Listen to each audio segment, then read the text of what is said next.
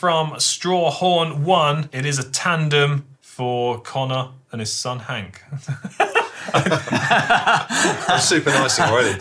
maybe, maybe they. What is that? That's incredible. That is actually incredible. I, Right, want, I'm going, I'm going. Super nice. I, I want to see them on it. Yeah, I would want to see them on it.